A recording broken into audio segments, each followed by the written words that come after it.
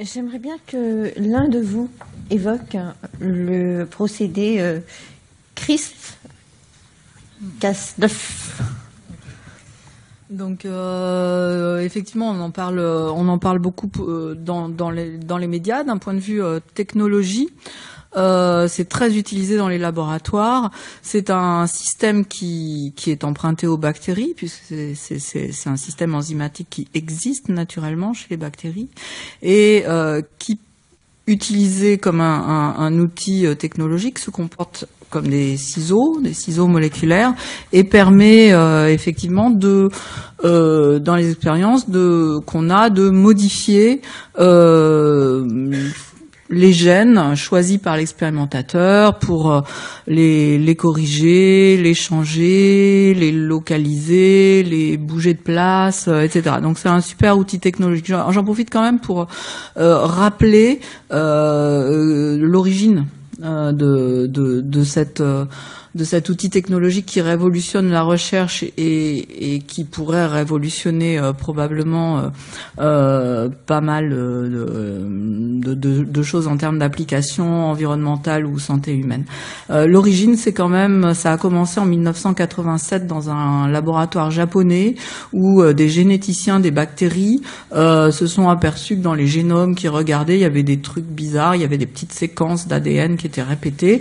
Donc ça intéressait strictement personne, mais eux ont trouvé ça bizarre. Donc euh, ils ont regardé euh, ce que c'était que ces que ces séquences répétées, et puis ça a duré, euh, l'histoire a duré une bonne vingtaine d'années, et même plus, jusqu'à ce qu'on découvre que ces séquences répétées, qu'on appelle CRISPR, servent aux bactéries. Elles sont super utiles, super essentielles même pour les bactéries, parce que les bactéries s'en servent pour éradiquer les virus qui les infectent, parce que les bactéries aussi ont des problèmes avec les virus, sont infectés par des virus qu'on appelle les virophages, et euh, elles ont en, quelque sorte une espèce de système immunitaire qui fait que quand elles ont vu une première fois un virus, elles sont capables de s'en débarrasser, un peu comme nous, on s'en débarrasse euh, avec notre euh, immunité acquise. Donc, ce système-là, et, les bactéries utilisent leur séquence CRISPR avec une enzyme qui s'appelle Cas9, et donc le système CRISPR-Cas9 leur permet d'exploser le génome euh, viral euh, à des endroits précis. Et donc euh, ça, c'est de la recherche purement fondamentale, c'est 20 ou 25 ans qui aboutit à la découverte effectivement de cette espèce de système immunitaire entre guillemets des bactéries, jusqu'à ce que effectivement dans les années 2000-2010 deux chercheuses initialement, enfin d'autres d'ailleurs, il y a un gros débat à ce sujet, se disent ah mais c'est amusant, cette découverte hyper fondamentale dont on pensait qu'elle n'allait jamais servir à rien, hein, si ce n'est d'avoir découvert que les bactéries avaient un système immunitaire, on pourrait s'en servir comme des ciseaux moléculaires. Donc où on en est euh, actuellement, cette technique-là est tellement intéressante que dans les laboratoires, pour faire des expériences dans le cadre d'un laboratoire, elle est extrêmement utilisée euh, par les chercheurs du monde entier, je pense. Euh, en, en, revanche, euh, et c'est là qu'on aborde quelque chose qui, qui, dépasse les chercheurs, c'est l'utilité, euh, l'utilisation, pardon, qu'on peut faire de cette technique-là, euh, par exemple en santé humaine, pour corriger euh, des gènes à l'origine de, de, de, de, maladies, ou éradiquer, par exemple, essayer d'éradiquer le, le, le, l'agent de la malaria qui se propose chez un, chez un moustique. Euh, voilà, donc là, il y a des perspectives d'utilisation de cette technologie hein, héritée des bactéries, et euh, ça fait un, un gros débat. Euh, il y a eu un article de publié dans Nature euh, au mois d'août, ou dans un cadre expérimental, purement expérimental aux États-Unis, euh, en collaboration avec une équipe de Corée du Sud d'ailleurs, des chercheurs ont montré que un embryon humain porteur d'une euh, d'un gène euh, qui, confère une maladie euh, extrêmement invalidante et potentiellement létale chez ces embryons humains en laboratoire. On avait pu, en utilisant ces ciseaux CRISPR-Cas9, Cas9 corriger ce gène-là. Alors attention, c'est de la recherche, hein. c'est pas ça. Voilà, c'est de la recherche qui utilise des embryons humains qui sont des dons. Donc il y a un gros débat sur euh, sommes-nous prêts à utiliser ce genre de technologie? Donc moi, je, là, on est dans le domaine de l'éthique. C'est des débats qui doivent impliquer euh, les chercheurs et la société. En tant que chercheur, moi, je dirais euh, actuellement que cette technique-là, premièrement, sur le plan purement fondamental, on ne connaît pas encore parfaitement le mécanisme euh, fin par lequel ces ciseaux euh, euh, peuvent couper les gènes. On n'en est pas encore là, on ne maîtrise pas complètement les bases moléculaires et chimiques de cet outil-là, premièrement. Et deuxièmement, on sait qu'il n'est pas fiable actuellement à 100%, c'est-à-dire qu'il y a un risque euh, que euh, quand vous utilisez votre paire de ciseaux, euh, vous coupez le, bon gène, vous le remplacez par quelque chose que vous voulez, qui va le corriger, mais vous pouvez aussi accidentellement taper à côté. Donc bon voilà. Donc pour l'instant c'est pas c'est pas appliqué du tout en agronomie. Non normalement, enfin après, ça dépend des pays, etc. Mais je ne pense, non, je ne pense pas. Bon, je crois qu'on va passer la parole à la salle.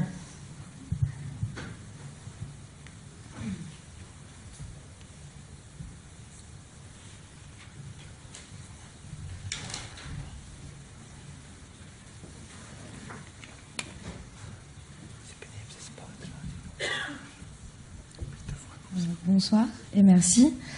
Euh, vous parliez tout à l'heure des virophages, qui sont des virus de bactéries. Et j'ai entendu parler cette année, euh, je ne sais pas quoi le nom qu'on lui donne, mais euh, il y a un problème actuel qu'on se pose aussi avec les bactéries, c'est la résistance aux antibiotiques. Et il me semble que dans les pays de l'Est, depuis plusieurs années, ils essayent de développer en fait des médicaments à base de thérapie phagique. Enfin, je suis pas sûre de ce que je dis. Du coup, où est-ce que ça en est? Est-ce qu'en France, c'est quelque chose auquel on s'intéresse? Et euh, qu'est-ce que ça pourrait donner dans quelques années? Oui, oui, c'est quelque chose auquel euh, tous les, toute manière la recherche est mondiale. Hein. Il n'y a pas euh, dans un pays se fait quelque chose. Est-ce qu'en France, enfin, voilà, la, la, la, la recherche c'est mondial ou, ou, ça n'est pas. Hein.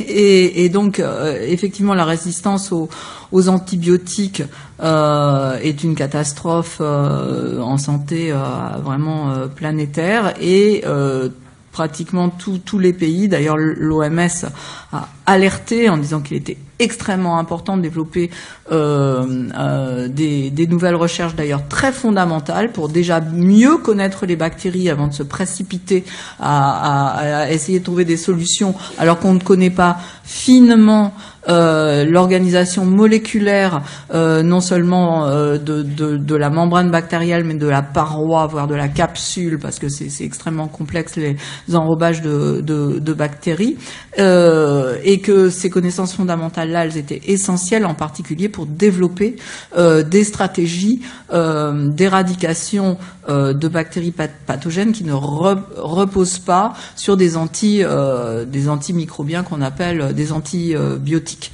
Donc il y a il y a effectivement énormément de, de recherches qui sont faites dans, dans, dans ce sens-là. Il y en a une, il y a un axe de recherche qui qui effectivement utilise la, la, la propriété qu'ont euh, les virus de bactéries de percer la paroi des, des bactéries avec des systèmes extrêmement euh, sophistiqués d'un point de vue euh, moléculaire, des espèces de forage à, à travers, à travers tout ce que je viens de décrire, là, capsule, paroi, membrane, donc qui pourraient être utilisés comme des armes, donc nouvelles armes très ciblées hein, sur telle ou telle euh, bactérie euh, pour euh, pour s'en débarrasser simplement en, en, les faisant voilà en les trouant quoi.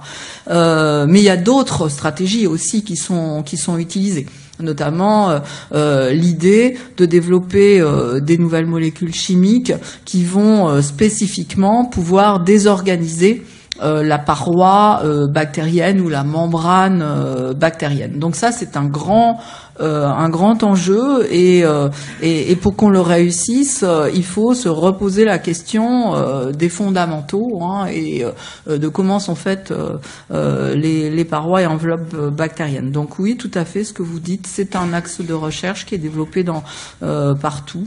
Euh, mais pas le seul. En tout cas, il faut absolument qu'on trouve une alternative aux, antibiotiques euh, euh, parce que la situation est véritablement dramatique, notamment quand on voit à l'échelle de l'Europe tous les pays qui ont massivement nourrit euh, le bétail euh, avec des antibiotiques euh, sont des pays qui sont touchés par ce fléau de résistance alors que les pays comme par exemple les pays du nord qui n'ont pas utilisé massivement ces antibiotiques sont beaucoup moins affectés mais mais c'est un problème de santé mondiale et, effectivement il faut trouver des alternatives.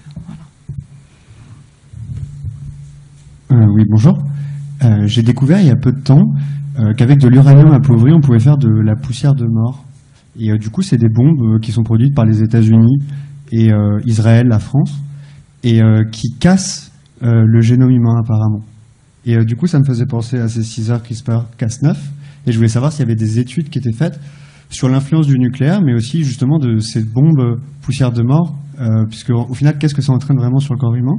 Et qu'est-ce que c'est de fracasser le code, le code génétique? Je voudrais déjà dire qu'on n'a pas la science infuse et qu'on connaît. Déjà, je me suis étonnée moi-même de répondre à la question précédente parce qu'on est tous, on, est chacun trois chercheurs spécialisés euh, euh, dans un domaine. Donc, euh, même si on a participé tous les trois à l'écriture, on a, on, s'est beaucoup découvert les uns les autres. donc, bon, alors dans les études qui sont menées sur les génomes, il y a effectivement tout un tas d'études sur la sur la manière de, dont ça se casse hein, par différents agents euh, et dont ça se répare également. Hein. Donc parce que en fait c'est des choses qui nous arrivent euh, tous les jours. Hein. Nous, dans notre organisme, euh, notamment euh, au niveau euh, des tissus qui sont exposés, par exemple, au soleil, on a des, mutations, c'est-à-dire des cassures, en tout cas, de l'ADN tous les jours. Quand vous prenez un coup de soleil, c'est assez catastrophique ce qui peut se passer. et bah, soit vous, la cellule se tue, euh, par euh, une mort, euh, voilà, elle se suicide. Il y a des mécanismes hein, qui font que si le génome est trop abîmé, en fait, quand le génome est abîmé, en ce qui se passe, c'est que la cellule essaye de le réparer. Donc, si elle est en division, elle s'arrête de se diviser hein, et elle lance euh, un programme interne qu'elle a de réparation de son ADN avec des enzymes qui vont euh, pouvoir euh, recoller les bouts qui ont été cassés, voire restaurer des parties manquantes. Donc elle, a un arsenal à sa disposition de réparation de l'ADN. Si tout se passe bien, elle répare et elle continue sa vie. Euh, si elle était d'ailleurs en train de se diviser, vraiment, elle s'arrête hein, et elle ne repartira dans le cycle cellulaire que euh, après qu'elle est réparée. Si les dommages sont trop importants, ce qui peut arriver, euh, par exemple, dans des, dans des cas de radiation énormes où le génome est quasiment haché menu, dans ce cas-là, la cellule n'arrive pas à réparer, c'est beaucoup trop pour elle, et c'est infernal, il faudrait qu'elle restaure un génome euh, qui, a été euh, haché menu. Et dans ce cas-là, comme je le disais, elle a euh, les cellules, en tout cas les cellules eucaryotes, ont un système de mort. elles, se tuent hein, et elles organisent leur propre mort. Hein. C'est pas euh, je je pars, euh, voilà, je m'éparpille euh, parce que j'ai bu de génome et je me répands partout. Non, c'est quelque chose qui d'ailleurs a un coût énergétique. Et, et, les cellules se tuent. Donc il y a une espèce de choix qui et on préfère on préfère se tuer plutôt que plutôt que bah, de rester avec des énormes anomalies, voire de se diviser en, en, entraînant des, anomalies. Ça, c'est quand tout se passe bien. Et effectivement, euh, il, y a, y, a, des cas de figure où la cellule va pouvoir euh, survivre avec, euh, avec des, des, défauts. Et entraîner ces défauts Bon, bah quand c'est euh, chez vous euh, et quand c'est pas dans des cellules reproductrices, ces défauts sont limités à l'individu. Si en plus euh, ça, passe dans les cellules reproductrices, bon, ça fait éventuellement de l'évolution. Voilà. alors maintenant sur les armes, j'y connais juste rien, mais on connaît effectivement, enfin le, le, génome bien que très protégé, susceptible d'être réparé, etc on est dans de la chimie quand même, hein, donc euh, donc ça peut être effectivement. Là, je connais, j'ai pas la réponse à votre question, mais euh, mais euh, voilà, il y a des agents mutagènes, on le sait, hein, qui, peuvent être utilisés comme comme, comme des armes. Enfin, je sais pas. Bah, je, voudrais faire un commentaire. C'est pas une réponse hein, du tout. C'est un commentaire, notamment par rapport à, ce qu'a dit Catherine Gessu au début de son intervention sur les capacités qu'ont certains organismes de, de, résister à des conditions extrêmes. Et euh, il, se trouve que euh, il a été trouvé des, des, des micro-algues vertes euh, dans les piscines nucléaires. Ce qui veut dire que certains organismes ont des capacités de réparation de l'ADN euh, qu'on ne connaît pas encore, hein, et on ne connaît pas ces mécanismes qui permettent de protéger euh, le génome de ces, algues vertes à des très fortes irradiations. Et potentiellement, ce sont des outils, lorsqu'on connaîtra les mécanismes, qui permettront d'éviter, en tout cas, de lutter ou d'avoir une, des, approches pour euh, euh, aller à l'encontre de, de, fractures du génome et, aider à la réparation de l'ADN sur des cellules euh, humaines ou, autres. Puis je voudrais faire un, commentaire un peu, enfin, par rapport aux antibiotiques. bon, là, Catherine a parlé des phages, mais lorsque je vous ai présenté très brièvement le la, la symbiose des, des, bactéries euh, qui est fixatrice d'azote chez les plantes. Il y a ce nodule qui se forme au niveau de la racine et associé à cette formation de nodule, il y a à peu près 1000 petits peptides, petites protéines qui sont synthétisées par la plante euh, au niveau de la racine. Et il se trouve qu'au niveau du nodule, il n'y a que cette bactérie symbiotique qui est présente. Il n'y a pas d'autres contaminants. Et on pense que peut-être qu'il y aurait certains peptides qui auraient cette capacité antibactérienne et qui permettraient l'installation de cette bactérie fixatrice d'azote, mais pas les autres. Donc là, il y a également des recherches qui sont faites pour essayer d'identifier parmi ces composés naturels s'il n'y aurait pas des antibactériens. Votre vulgarisation. J'ai une question euh, concernant l'éthique. Euh, qui positionne l'éthique? Est-ce que l'éthique doit être nationale ou internationale? Concernant la, gestation pour autrui, elle, n'est pas autorisée en France, mais elle est autorisée à l'étranger. Donc le problème, c'est euh, le droit de la femme concernant l'esclavage moderne n'est pas applicable en France, mais on l'autorise à l'étranger et on reconnaît les enfants en France par la suite. Donc qui positionne l'éthique et comment ça fonctionne? Oui, c'est là, c'est effectivement c'est une question euh, politique, oui, c'est ça.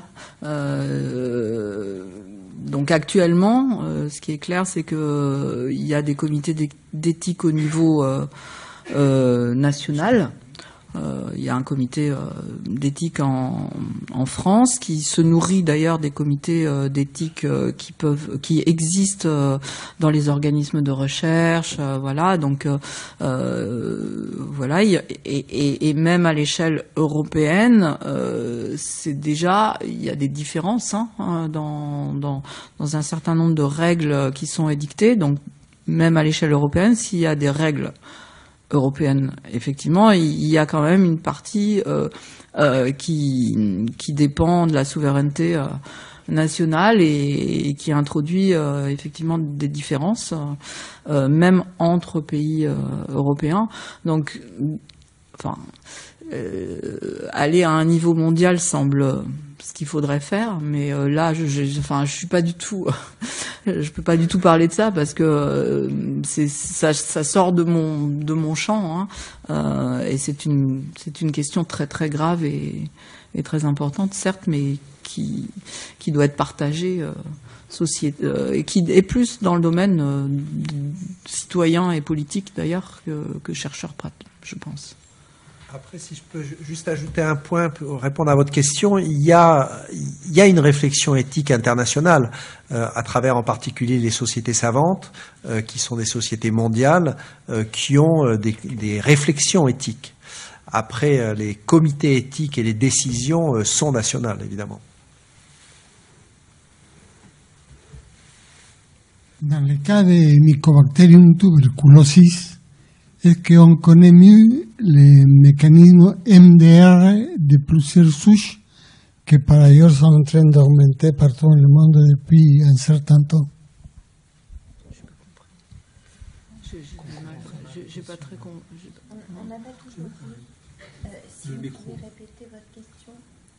La question est simple, c'est-à-dire que dans le cas du traitement, traitement antituberculeux, il y a actuellement, mais depuis longtemps, antituberculeux, Mycobacterium tuberculosis.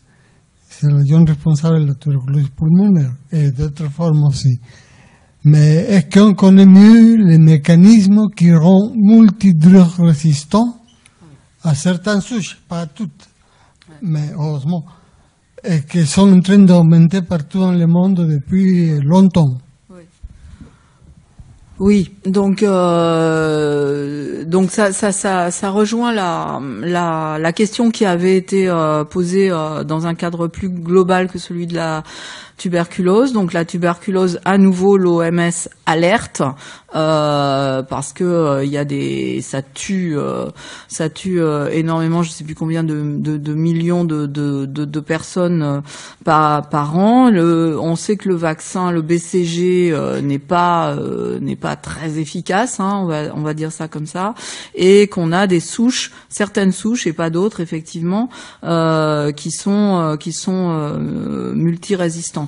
Donc euh, c'est clair. Et là, il y a tout un axe de recherche qui existe à l'échelle mondiale euh, sur euh, travailler. Alors, je ne sais pas sur la question de l'origine de la multirésistance aux, aux, aux, drogues. Je pense qu'aux aux antimicrobiens, je pense qu'on a beaucoup avancé, mais je ne peux pas vous en dire euh, plus. Mais en tout cas, sur les systèmes génétiques qui se mettent en place, euh, je pense qu'on a beaucoup avancé là-dessus. Mais du coup, maintenant, on revient à la même euh, à la même question qui est de développer des stratégies alternatives à celles qu'on a pour combattre ce fléau qu'est la tuberculose. Donc là, je sais, y compris en France, hein, on a on a des laboratoires CNRS et INSERM euh, qui travaillent euh, qui là-dessus euh, sur sur des stratégies alternatives.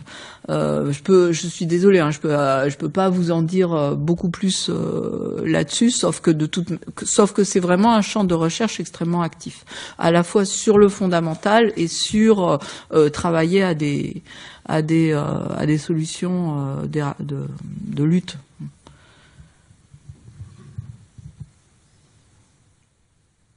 Euh, bonjour, j'avais une question sur le pouvoir euh, pathogène et symbiotique des archées.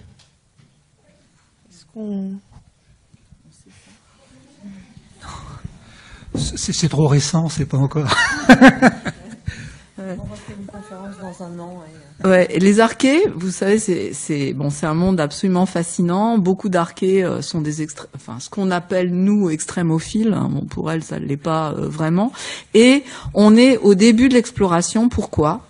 Parce que euh, ce sont des, des cellules qu'on a euh, beaucoup de mal à cultiver et, à étudier en laboratoire, parce que justement leurs euh, leurs conditions de, de, de, de, culture pour pour les étudier sont, sont tellement compliquées que euh, qu'on y arrive très très peu. Donc il y a très peu déjà de modèles d'archées qui sont utilisés véritablement en laboratoire euh, euh pour euh, voilà pour, pour, pour comprendre comment ça fonctionne, ça se reproduit, etc. Ça a des génomes pas du tout comme les bactéries, hein, beaucoup plus complexes, mais ça n'a pas d'enveloppe de compartiment intracellulaire visiblement. et puis ça ça a une, une des, des composants de membrane cellulaire extrêmement originaux. Et donc tout ce qu'on a actuellement, ce qu'on fait beaucoup sur les archées, c'est des analyses génomiques pour, et c'est là qu'on se rend compte euh, de leur extrême diversité et effectivement qu'on regarde euh, comment elles vivent euh, en milieu naturel. Donc il y a des communautés qui sont extrêmement élaborées. Donc je pense qu'on a que personne n'a la réponse à, à, cette question, mais pour moi, il ne fait nul doute qu'on va aller vers des, des, des écosystèmes euh, avec, dans certains cas, des archées majoritaires euh, qui ont fatalement des, des relations symbiotiques, parasites, parasites, etc. Ce qu'il faut bien retenir aussi, c'est qu'on avait catalogué les interactions entre voilà ce qui est symbiote, c'est-à-dire bénéfice réciproque, ce qui est parasite euh, et ce qui s'occuperait à la limite pas l'un de l'autre. En fait, on, on sait maintenant qu'on a euh, des franchissements, que des symbioses de, peuvent devenir du parasitisme euh, et du parasitisme se réverser vers de la symbiose. Donc, on n'est pas du tout dans, dans, dans, dans des choses fixées, mais on est vraiment dans, dans des équilibres. Et euh, donc, à ma connaissance également, euh, il n'existe pas encore, encore d'archée euh, pathogène. Voilà. Euh, jusqu'à preuve du contraire, hein, bien sûr. Euh, oui, bonsoir. moi, j'ai une question par rapport aux neurotransmetteurs. dans, enfin, dans plein d'articles de société où, enfin, beaucoup de choses ont été vulgarisées, on, parle, on dit souvent que la dopamine est responsable de beaucoup de choses, y compris l'excitation, le changement d'humeur. Ça peut être responsable de plusieurs maladies comme de la bipolarité par exemple. Et euh, enfin, ça c'est des articles de société. Et euh, je voulais savoir aujourd'hui où ça en est par rapport aux articles scientifiques. Et euh, si aujourd'hui on est capable d'imager, si la lumière est capable d'accéder à ce, si grâce à la lumière on est on est capable d'accéder à ce niveau de, enfin à, cette échelle-là, et si, enfin, est-ce qu'on est capable de prouver si c'est vrai ou pas, si la dopamine a ce rôle partout Donc la dopamine, c'est effectivement euh, un neurotransmetteur extraordinairement important. Euh, on parle plutôt d'ailleurs de neuromodulateur, euh, puisque la, dopamine se relargue de manière un petit peu globale dans des régions du cerveau. Et permet effectivement de moduler l'activité des neurones. Donc on a d'un côté le glutamate qui est responsable de la transmission rapide, et puis d'un autre côté la dopamine qui permet de moduler ça. la dopamine, donc il y a, tout un grand nombre de types de neurones différents qui relarguent de la dopamine, qui ont des fonctions extrêmement différentes. Euh, on parlait tout à l'heure de la maladie de Parkinson. Les neurones nanopamine permettent de contrôler, de moduler l'activité de neurones qui eux-mêmes euh, contrôlent euh, des activités motrices. Euh, la dopamine est aussi extrêmement important dans les rôles de, motivation. pour, pour faire une action, il faut que vous soyez motivé à le faire.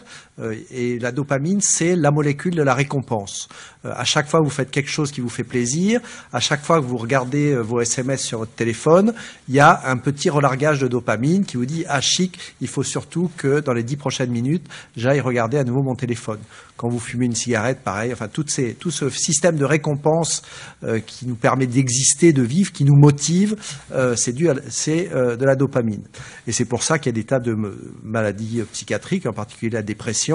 Euh, qui sont dus à des défauts. Euh, il n'y a pas assez de dopamine, donc on n'est plus assez motivé pour se lever, etc. Dans le cas de la maladie de Parkinson, euh, comme vous le savez, peut-être, il y a en particulier des neurones dopaminergiques qui sont le plus fragiles et qui sont les premiers à disparaître. Et donc c'est pour ça qu'on a ces problèmes de marche, etc., et puis des problèmes cognitifs après. et donc ce que font les chercheurs depuis un moment maintenant, Autrefois, enfin on continue à le faire bien sûr de façon tout à fait importante, on donne des substituts de dopamine euh, qui permettent de corriger les niveaux de dopamine dans le, dans le cerveau. Euh, ce qui se fait euh, maintenant depuis plusieurs années, c'est de faire des stimulations électriques des neurones dopaminergiques qui restent pour relarguer plus de dopamine. Et ce qu'on commence à faire, mais de manière tout à fait expérimentale encore, hein, euh, c'est effectivement de mettre dans les dopaminergiques des molécules sensibles à la lumière qu'on va pouvoir exciter avec de la lumière pour augmenter l'excitation des neurones dopaminergiques qui restent pour augmenter effectivement ce langage de dopamine et corriger euh, les défauts de la maladie de Parkinson, les défauts moteurs en particulier. Donc la réponse à votre question est très simple. Oui, la dopamine est absolument fondamentale. Ça a un rôle extraordinairement important dans des tas de fonctions du cerveau et on commence à connaître de mieux en mieux comment ça fonctionne effectivement. Bonsoir. Euh, j'aurais voulu euh, vous demander par rapport à la mobilité des récepteurs est, enfin, vous avez, essayé de le mettre en lien avec la mémorisation et avec les maladies neurodégénératives. Mais c'est-à-dire qu'en fin de compte, euh, les récepteurs dans ces, maladies neurodégénératives euh, sont plutôt immobiles, c'est cela? Donc l'histoire est, un petit peu plus compliquée que ça, bien sûr, comme d'habitude, euh, comme d'habitude en biologie. Euh, ce qui se passe, c'est que une synapse normale, pour fonctionner, il lui faut les deux. Il lui faut à la fois des récepteurs immobiles à la synapse, qui vont permettre de faire l'efficacité de la transmission, et puis des récepteurs mobiles un petit peu autour, qui sont là en réserve et qui vont permettre euh, d'être accumulés s'il faut renforcer la synapse. Au contraire, si la synapse a besoin de perdre de l'activité, bah, les récepteurs vont augmenter la mobilité pour euh, s'en aller de la synapse. Et c'est l'équilibre entre ces récepteurs mobiles et ces récepteurs immobiles qui fait qu'une synapse fonctionne bien et fonctionne euh, normalement. Euh, ce qu'on est en train de découvrir, c'est que un neurone qui commence à être atteint, en particulier par le peptide amyloïde, dont on pense qu'il joue un rôle très important dans la maladie d'Alzheimer, ce neurone va avoir en fait ces, ces, récepteurs qui partent de la synapse, qui s'en vont, donc ils sont plus mobiles transitoirement, ils s'en vont de la synapse, et comme il n'y a plus assez de récepteurs dans la synapse, ben, cette synapse va s'éliminer, en fait, un peu euh, comme les cellules qui ont leur ADN abîmé et qui s'auto-suicident. Ben, pareil, une synapse, quand elle a perdu trop de récepteurs, euh, le neurone considère qu'elle est plus très utile et donc il va éliminer, il va l'éliminer. Et puis quand il a éliminé la moitié de ses synapses, le neurone, eh ben, il dit ben, après tout je ne sers plus à rien et il meurt. Il s'auto-détruit comme ça. Donc effectivement, on a une mobilité anormale des récepteurs qui conduit petit à petit à une mort cellulaire.